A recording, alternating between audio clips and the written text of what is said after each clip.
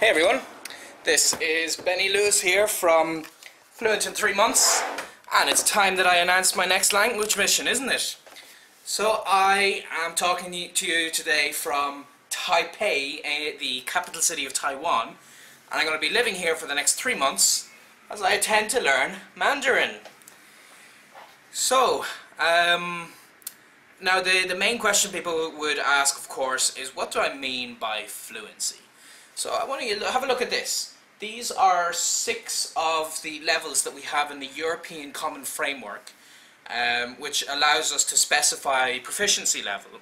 And it's an examination system that I've gone through myself several times. I'm not planning to sit an exam, to, but to give you a general idea, uh, basically um, the C2 level is a professional level. This is what I would have in Spanish and French and a couple of others where I've actually worked as an engineer in these languages.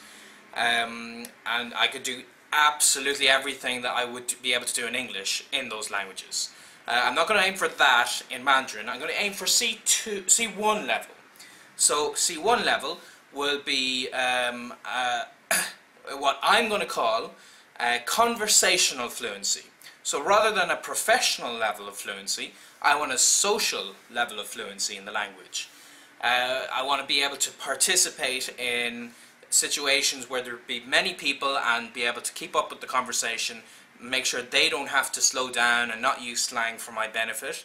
And I can have uh, deep conversations about general topics, not something too technical, but uh, general topics with, um, with anybody. And I'd be able to have friends in the language, which for me is, uh, is the most important thing. Um, because when you consider fluency, for me, that's that, that comes from the stem of the word, that it's flowing. So I'm not going to hold up the conversation. I'm not going to slow it down. I won't be hesitating to a major level. And that's what I'm aiming for. Okay? Um, maybe you, you don't agree with my definition of conversational fluency. That's fine, but that's so you know what I want to get after the end of the three months. Um, now, uh, I think ma the major challenges here will be uh, the tones of the language. I had some superficial exposure to this with Thai and um, I think that might give me a, a small edge but it's still going to be a lot of work that's fine and I think the major thing people are going to be asking me about is the reading and writing system that they have um, for Chinese with the different symbols and uh, that they use. So, uh, check this out. These three symbols um, as you can see, um, you might not, you wouldn't be able to recognize what they mean.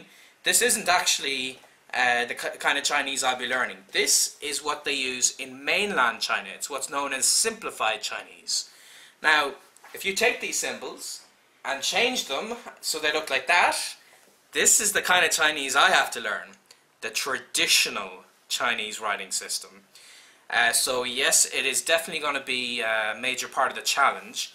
But uh, once again, to be specific, I don't intend to, to read newspapers and the like. I do want to have a very useful level of being able to read this language. So all those signs you just saw there in the street, I'll be able to understand them. Right now I don't have a clue what they say. Um, I'll be able to read menus and uh, if, if you give me a newspaper I'll be able to get the gist of what the article is talking about, definitely understand the, the headline at least. So that, that kind of thing, so a useful level, because without being able to read, uh, I'd basically be illiterate, and that would not let me function well uh, entirely within the uh, within society. Uh, but it's still not my priority. My priority is speaking. Um, so keep that in mind. Um, uh, so instead of seeing these traditional symbols, I'm mostly going to be learning them like this. That's uh, the pinyin writing system. Um, and I don't really intend to write Chinese because to be honest I don't write in English or in French or Spanish. I use the computer and I write text messages. And the way you do that in Chinese is very different to how you would write on paper. That actually uses a system similar to the, the pinyin uh, so I will be able to actually send text messages in Chinese to people. Um, so I hope all of this has somehow given you a general idea of what I'm aiming for. Uh, what's important is too many people aim for some kind of a perfect level or they, def they define fluent as, as being equivalent to bilingual which I think is very wrong.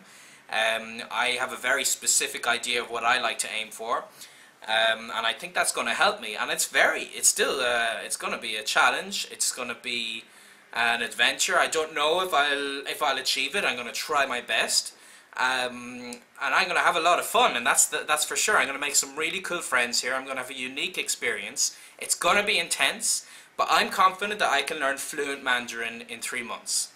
To see how I do that just subscribe and uh, of course I've I've done this in a few other languages I've explained the the process involved uh, in the speak from day one video course combined with the language hacking guide the book I wrote about it. So if you're really curious about how the whole process works just check those out. But otherwise follow along the blog and I'll explain specifically for Mandarin uh, what I'm doing over the next uh, few months to help me reach this level. And even within a week or two I'm actually gonna maybe show you my uh, my small apartment entirely in Mandarin uh, that would be a scripted video so you know it's not going to be a spontaneous conversation but at the end of the three months I'm going to interview a native and it will be spontaneous it'll be on camera I'll share it with the world and you can see how far I did. I don't know if I will reach that level of fluency this is not a promise it's an objective. And I would encourage you as well to aim for something really high in your objectives rather than just improve my level or speak the language. Aim for something specific in a specific time and speak it from day one. This is day one of my three month mission to, to speak Mandarin and I'm going to start speaking right now. So thanks for watching, leave a comment and uh, subscribe to join along in the journey and you'll see how I do.